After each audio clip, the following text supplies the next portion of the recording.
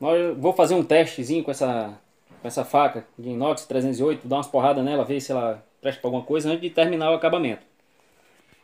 Mostrando que ela está um pouquinho afiada, né?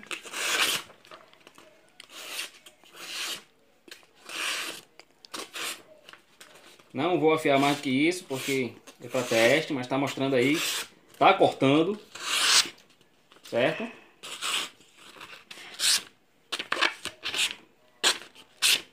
E agora vamos para o... Vixe. Aí. Vamos para a diversão bruta. Lá para tora de teste.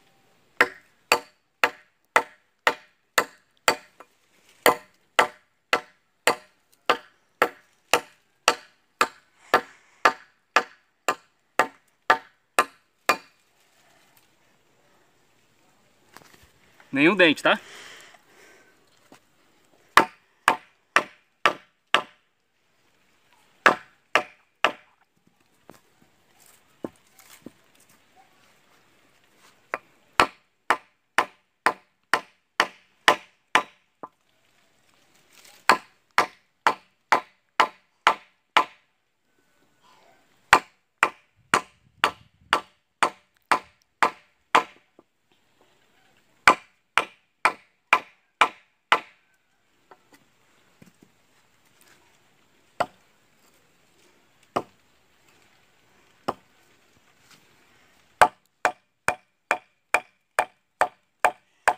Filma bem daqui assim, ó.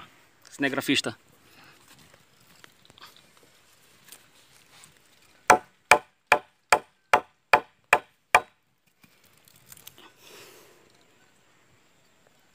Nenhum dano, tá, gente? Ainda nenhum dano.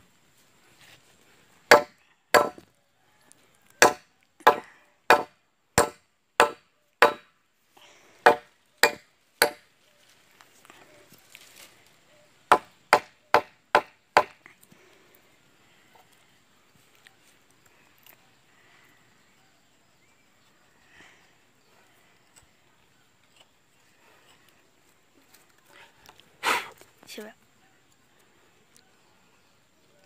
Ainda nem o dente, nada. Claro que eu não vou bater em ferro, tá? Não vou tentar cortar prego, não.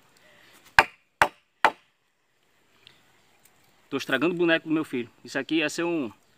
Como é aquele... Crude.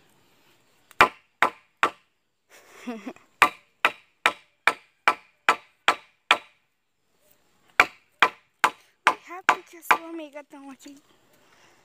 Beleza. Dá um pause. Só pause. Agora vamos ver aqui a retenção. Já tá mais ou menos... Tá rasgando, mas tá... Quase cortando do mesmo jeito que tá indo agora. Como eu pausei, Juliana, cinegrafista,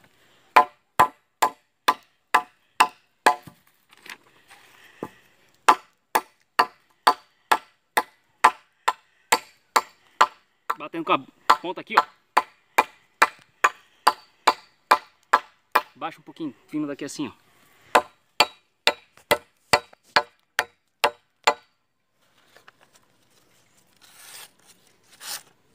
Tá rasgando, mas ainda continua razoavelmente cortando, ó.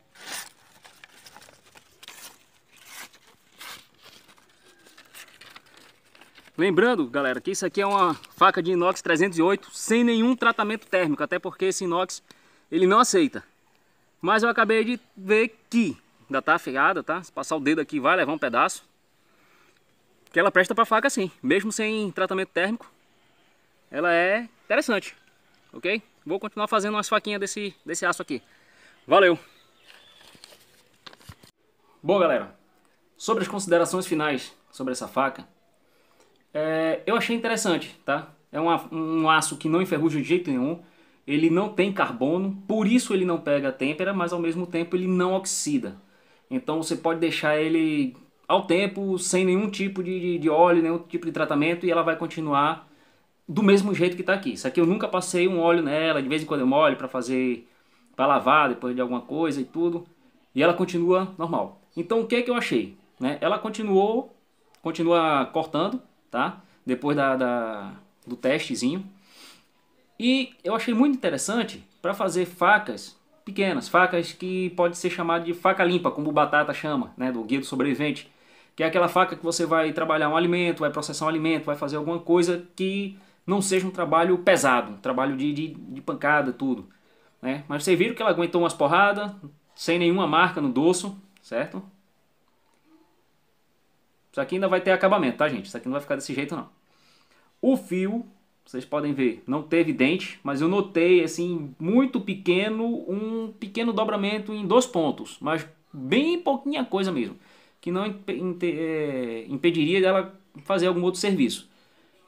Então, facas de defesa pessoal como uma carambite, né, como uma é, push dagger, ela que esse tipo de aço acho que dá para fazer bem, né? Já que ela não ia ter tanto trabalho assim, né? A gente sempre espera que, por mais que a gente tenha um equipamento desse, a gente não precise usar.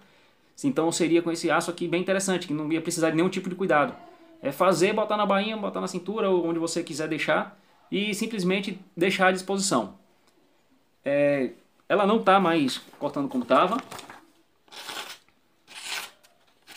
mas continua cortando, tá? Então mostra que realmente ela, esse aço serve para fazer faca. É um aço muito duro, certo? E deu muito trabalho para modelar, para fazer. Então, mas eu vou continuar fazendo com esse aço. Ele tem, essa faca tem 6,5 milímetros de espessura. E eu gostei muito do resultado. Agora eu vou repor o fio, aproveitar para falar desse afiador, né, com a parte diamantada para parte de serra, que eu comprei no Wish, né, um afiadorzinho que aparentemente eu pensei que eu não ia resultar, né, não ia amolar, não ia afiar a faca, mas até que ele amolou. Então vamos... Ele tem duas partes, tá? Uma de aço e a outra de cerâmica para dar o acabamento. E vamos ver aqui. Não vou caprichar tanto, só algumas passadinhas. E agora vamos aqui para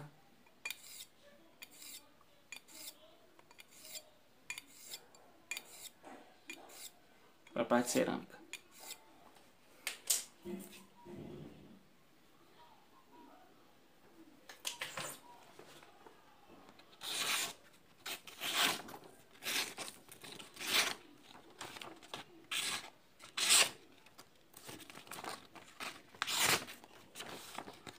Então, afiador realmente...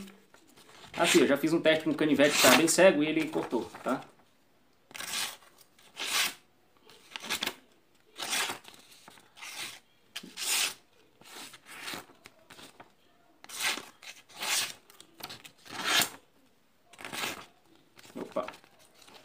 Essas partes que estão rasgadas, eu acho que precisa repor o fio. Acho que é onde tá, onde dobrou um pouquinho o fio, tá? Mas, no geral, tá cortando. Digamos, se eu precisasse fazer algum serviço, processar uma carne, cortar alguma coisa, ele ia cortar. Ela ia cortar, tá?